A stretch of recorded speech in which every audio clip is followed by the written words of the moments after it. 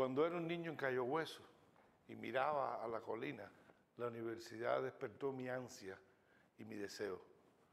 Cuando crucé el puente, porque no es una escalera, es un puente, aprendí a que ese ansia y ese deseo se podía realizar de un modo no solo útil y productivo, sino grande.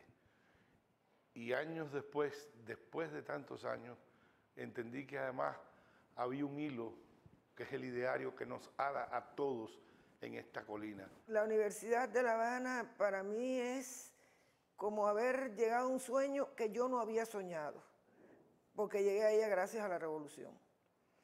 Y después, pues ha sido crecimiento, en muchos sentidos, crecimiento intelectual, crecimiento como persona. La propia Universidad de La Habana eh, hizo un esfuerzo de prioridad extraordinario en nuestro laboratorio y este laboratorio indiscutiblemente que, en el transcurso de, casi dos décadas de, trabajo logra ya a principios de los años 2000 eh, la primera vacuna con un antígeno sintético de la historia de la humanidad.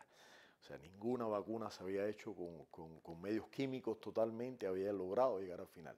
Y este fue un logro que se hizo desde la universidad.